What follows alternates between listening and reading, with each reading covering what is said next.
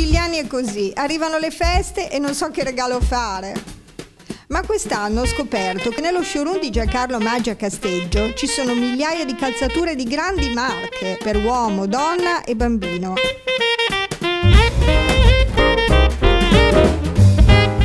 Stile, comodità, qualità e prezzi vantaggiosi. In via Gramsci 18 a Casteggio, Maggi Calzature. Scarpe per tutti o quasi. Assessore Zaratti, buongiorno. Ci avviciniamo alle festività natalizie e al di là del significato religioso rappresentano senza dubbio un'occasione importante sia per il commercio che per la programmazione di eventi culturali.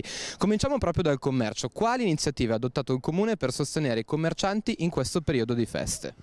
Beh, eh, abbiamo aperto un tavolo, aperto un tavolo con eh, i rappresentanti delle associazioni e già da alcuni mesi ci siamo confrontati per arrivare per l'anno prossimo a una programmazione condivisa su tutto, spalmata tutto l'arco dell'anno e per Natale a pianificare e organizzare insieme una serie di iniziative, tra queste oltre alle luminarie e all'illuminazione artistica che è eh, comunque diciamo eh, del settore cultura, ehm, i commercianti si sono uniti e per la prima volta dopo tanti anni hanno trovato condivisione, forse mi hanno anche ridato eh, davvero fiducia perché si sono autotassati per appunto realizzare la filodiffusione. Insieme a loro realizziamo tante iniziative a partire già dal prossimo prossimo weekend, eh, poi il 12 e il 13 ci saranno momenti di aggregazione, di divertimento, di intrattenimento per grandi e piccini da Piazza Duomo alla Via Emilia insieme ai mercatini, poi un'altra bella iniziativa avviata con i commercianti è quella del maxi schermo con la proiezione di cartoni animati natalizi che verrà posizionata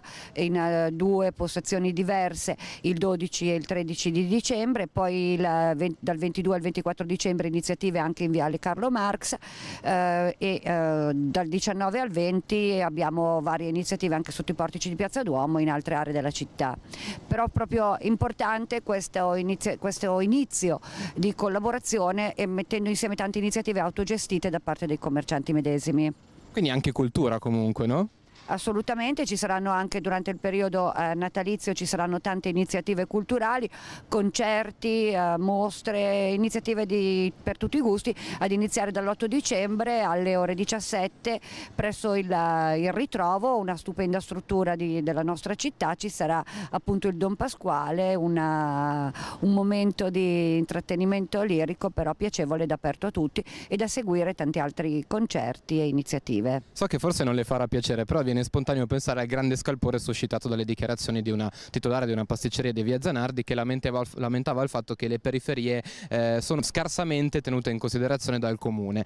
Eh, quali sono le attività fuori dal centro storico previste per le prossime settimane?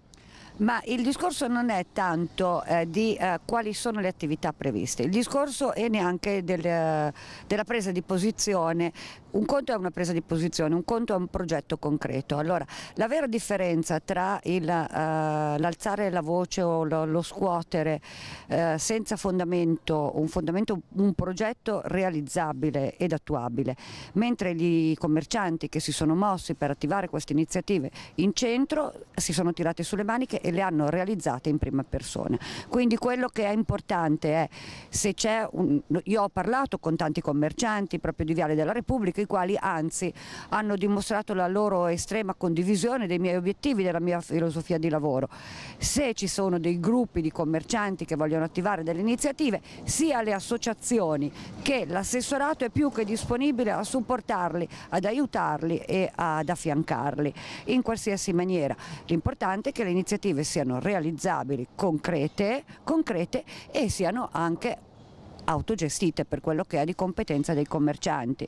Insieme alle associazioni comunque io ho già proposto ai rappresentanti delle associazioni eh, una serie di iniziative che se troveranno finanziamento magari con anche il contributo con, come è successo qua appunto per la filodiffusione per queste iniziative natalizie l'anno prossimo troveranno anche la condivisione economica dei commercianti delle varie aree in cui vorremmo andare a lavorare ho in mente de, un, dei progetti con delle iniziative che potranno andare nella fascia eh, che circonda il centro storico per poi andare anche nei quartieri insieme a Voghero sotto le stelle, quindi tutta una serie di iniziative che andranno a intrecciarsi tra di loro. Ma come già è stato fatto in passato, se c'è un gruppo di commercianti, se c'è un commerciante solo questo commerciante chiede l'occupazione del suolo pubblico e attiva un'iniziativa all'esterno della sua attività e questo ben venga se soprattutto si va magari a inserire nel contesto di, un, di tutte le altre iniziative che vengono realizzate nel periodo e si concerta con altri commercianti. Se un gruppo di commercianti vuole attivare un'iniziativa allora si può rivolgere all'associazione e organizzare insieme all'associazione, insieme al comune un'iniziativa e noi siamo... Certo, è molto chiaro. Eh, prima ha citato le luminarie, quest'anno le periferie, sbaglio, saranno più illuminate degli scorsi anni. Sì, il discorso è questo, che c'è una... la disposizione dell'illuminazione, voglio dire, io cerco di andare incontro a tutte quelle che possono essere le esigenze della città, per cui mi occupo anche di cose che non sono di mia competenza. Però voglio dire che eh, la disposizione del luminaria è storica, è tradizionale. Io capisco che eh, sarebbe bello illuminare tutta la città. Io ho chiesto quest'anno se era possibile di eh, di spalmare l'illuminazione il più possibile anche alla, nelle vie di accesso alla città. Il discorso c'è un budget e poi c'è anche sempre la critica perché vengono spesi dei soldi per le luminarie. Poi però tutti vorrebbero le luminarie nelle loro strade. Allora dobbiamo deciderci perché non si può accontentare tutti. Comunque tradizionalmente le luminarie in qualsiasi città eh, sono eh, nel centro storico. Poi si hanno eh, una forma di illuminazione anche nelle vie di accesso. Vedete che c'è anche l'illuminazione artistica nella zona della stazione, piazzale, eh, Piazza San Bovo, Piazza Meardi. Il budget è questo quello, la città dice vogliamo spendere di più, si riescono a recuperare maggiori, eh, maggiori finanziamenti per le luminarie, però mettiamoci d'accordo, però quali vie tagliamo fuori e fin dove arriviamo? Allora bisogna anche un attimo pensare, mettiamoci tutti, ognuno qualcosa di suo. Problema sicurezza, in piazza San Bovo e nella zona della stazione verrà potenziata l'illuminazione con nuove lampade. Eh, questo quando avverrà e qual è l'obiettivo? Eh, dunque nel capitolato eh, di manutenzione dell'illuminazione da parte di ASM era previsto un 10% per manutenzione straordinaria all'anno. Eh, io ho eh, individuato come priorità eh, come manutenzione straordinaria quella appunto di implementare l'illuminazione luminosa di piazza San Bovo e di, soprattutto di piazzale Marconi. Ho provato a far mettere due, quattro lampioni a LED ed effettivamente si è visto che funziona veramente da deterrente perché diciamo la gente non sosta, la gente così un po' borderline non sosta lì sotto. Mi auspico che questo inizio poi possa far sì, possa essere questo primo step che ho avviato, eh, possa essere davvero un primo step di, di quel percorso di ottimizzazione della sicurezza. Devo dire una cosa e lo dico francamente, mi spiace che oggi purtroppo anche gli enti locali siano costretti a cercare delle soluzioni che facciano da deterrente e facciano da palliativo quando ci vorrebbero delle leggi che tutelassero realmente noi cittadini italiani di fronte alla delinquenza e al delinquere. Ha chiuso i battenti l'associazione Fuori Posto, associazione culturale, che negli ultimi anni ha animato la città con iniziative di vario genere.